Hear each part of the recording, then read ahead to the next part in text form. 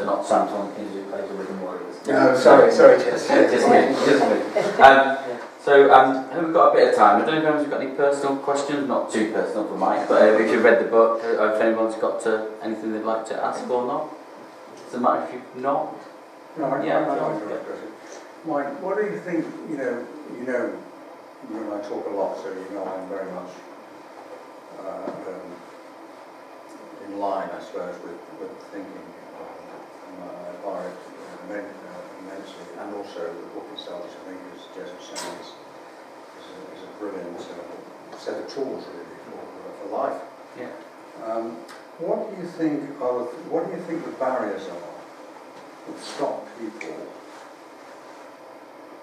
grasping everything? What are the, what are the things that, that stop us from I think, I think for me, the biggest barriers, um, ultimately, really, to learning, is what we're talking about, um, is fear. A failure. Fear of failure. I think fear of failure are, are really, really significant barriers to all of us. Fear of looking a bit silly, fear of being ridiculed, fear of uh, not meeting the mark. And I think, you know, it links to links to this idea of, you know, we, we, we've called this organisation here Childs. Um, and, and part of it was it was just a nice, neat little acronym that linked to Chiltern Institute of Learning, Development and Sport. But in a roundabout way, you know, what happens to us when are we at our most curious and our most creative? As when we're seven, eight Seven. years old. That's when we're at our most curious and creative because you know we don't give a monkeys about what other people think. We're not trying to reach some sort of you know goal or some sort of we're just at our most curious, our most playful, uh, at our most creative. And then what happens over the next years, we become a bit more adult. Oh, that wouldn't look so good. Oh, I don't want to stand out from the crowd too much. Or, oh, and suddenly we put on this, this, these layers of armour to protect ourselves. And we become a little bit cynical and we stop trying and we stop, you know. Yet, there are wonderful examples in our sport and here in our, at our tennis club. We've got a guy who was playing a, a tournament here over the weekend, 84 years old. 84 years old, and he's out playing and he's out learning and he's out wanting to get better. Um, and because he's decided to choose his attitude around fear. And I think fear is, is for me, is, is our biggest obstacle in, in any of these things. And most of the time it's completely irrational fear. Most of the time.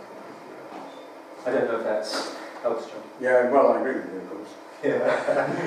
I just, I just interested to, to, to get you to explain it a bit more because I guess part of the process is to help people overcome that fear, isn't it? To, and to, to differentiate between rational and irrational fear because it's perfectly rational to be scared of, um, you know, when your kid steps out on the road to sort of tell them to not to do that. Most of it, of course, is made up, isn't it? And, and the difficulty is, the, the problem is that we make things up. We tend to make negative things up, don't we? And especially, you know, youngsters coming through sort of high school age, mm. you know, there is a, there's a very, very strong desire and need to, to fit in. Yeah. Right, and, and so therefore here we have a, a bit of an expression in the saying around fitting in because you work so hard. Fitting in because you were curious, fitting in because you want to learn. And standing out because perhaps you're not there to work hard. And it's just flipping the, flipping, you know, looking at the other side of the coin.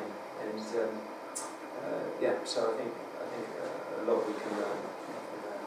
Um, follow it on, Mike, with the growth mindset. Obviously, it's, it's also a big thing in schools. I work in education, and so I'd be really interested in how, you know, I'm using analogy as teachers. How do you work with coaches to really, do you overtly coach how to become more of a growth mindset person rather than fixed? And how, Yeah. what sort of practical strategies Yeah. do you advocate?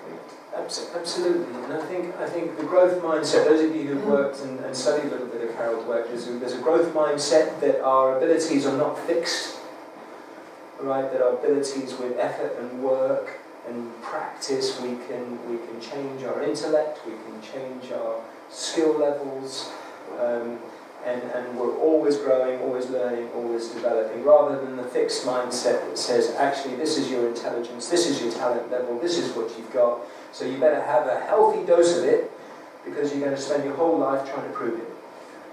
And in terms of, I think that's really, really closely linked to how we develop um, what I would call intrinsic motivation.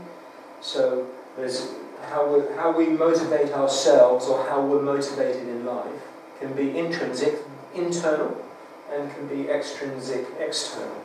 So I'm motivated externally by reward, by finances perhaps, by um, extrinsic carrot and stick perhaps approach, as opposed to developing intrinsically motivated youngsters and I think you can perhaps just distill that down into um, three things. And you can think of AMP, AMP, okay? Autonomy, mastery, and purpose. And if we can coach in such a way that actually develops autonomy, right, by actually, rather than saying do this, do that, by actually asking the question and being able to um, give, give choice, because choice always invites what? It invites a decision. Mm. Uh, if, if we can actually offer choice when we're coaching or working with people, choice invites decision. Decision encourages ownership. Made a choice, therefore I've got ownership now over that choice. Ownership then, okay, encourages responsibility.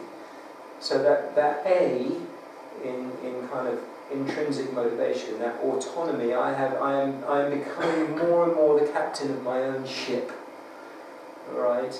As opposed to do this, do that. Okay, when could you go to bed tonight, You know, what do you think? You've got, you've got a couple of choices, nine or ten o'clock, yeah.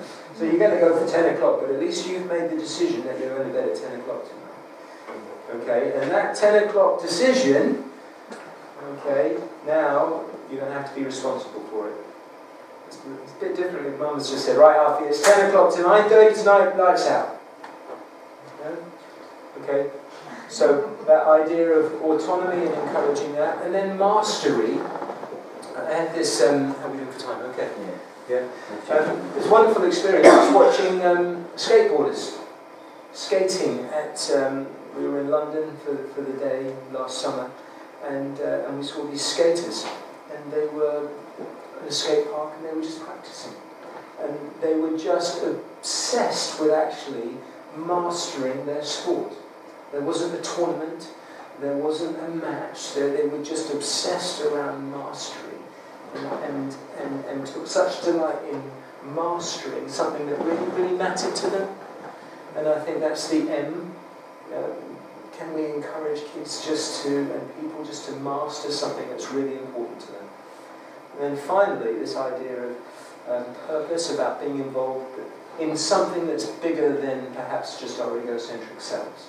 So how are we contributing to um, the, the, the sport of skateboarding yeah, by, by mastering these sports? Or are we part of a bigger organisation? Are we part of a, a club here? Or are we part of something that, that actually has a much greater sense of um, the common good or ourselves rather than purely um, something around our egocentric selves. So AMP, I guess AM is where I'm going, autonomy, mastery and purpose. Invite choice. The minute we start to invite choice, we start to encourage the growth mindset by asking good, smart questions.